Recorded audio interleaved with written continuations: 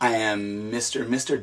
007 and I'm a foreigner living in Japan and I'm going to be doing unboxing, or I guess you could say an unbagging of some Christmas goods.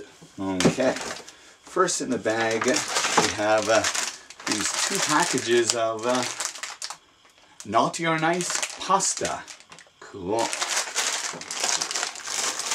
Next we have some uh, chocolate Christmas decorations and we have Santa Claus as well. Also we have, that. oh, we have this Christmas tin here. Pretty cool, a Santa Claus on it here. Maybe you have a shortbread cookies inside. Cool. Here we have, it says uh, Peanut Butter Santa. We got one, two, three peanut butter Santas in this box. Cool. Also we have, uh, oh, candy canes. Mini candy canes will decorate the tree with. Cool. And we have a couple of these. This is uh, Christmas surprise eggs. So that is all that is in the bag here. But you may be wondering, what's so special about these goods? Well, I'll tell you.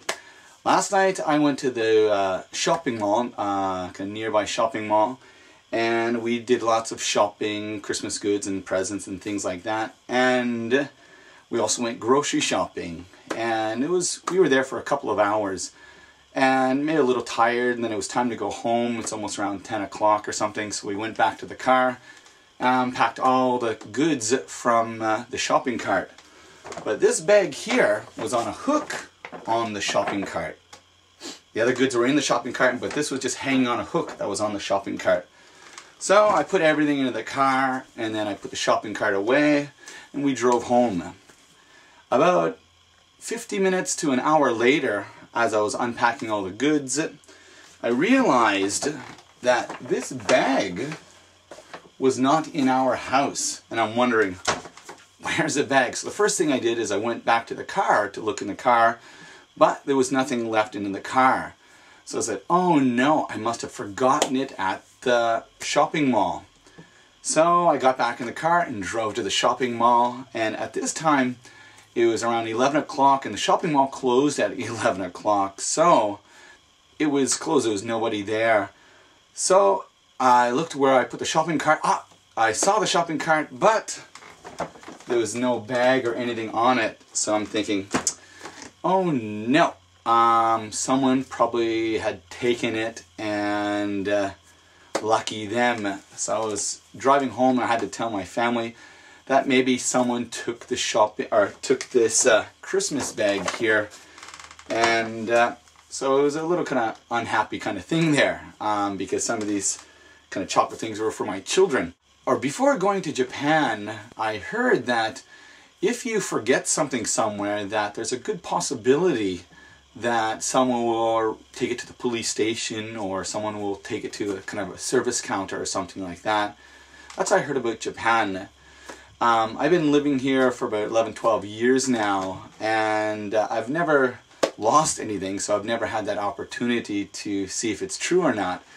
Um, but since the department store was closed, the only thing I could do was go home and the next morning at 10 o'clock when the department store opened, I could call again, or the shopping mall that is, I could call back and see if anyone returned it. So um, I went to bed that night. Then the next morning, I guess maybe I was wondering, did someone return the bag? I'm hoping, I'm hoping, I'm hoping that someone returned the bag. Because hey, this is Japan, I thought. Uh, but I told my wife, and uh, she said nowadays um, Japan is slowly by slowly getting westernized, I guess, where um, people would maybe take things, maybe not return things to the police station or to a service counter or something like that.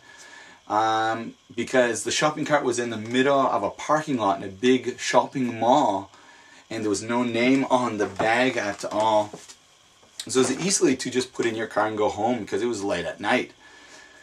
Um, but the next morning I called the department store and lucky enough someone brought it back and that so myself I really really couldn't believe it I was so happy that someone did that Um, again, I'm a foreigner living in Japan. Uh, back in my country, um, if I saw a bag or something on a shopping cart, beyond honestly speaking, uh, I would think twice about taking it to a police station or to a service counter or something like that. It'd be kind of troublesome. Um, so most people, uh, in my opinion, would probably just take the bag, put it in their car and say, ah, lucky, a few extra Christmas goodies.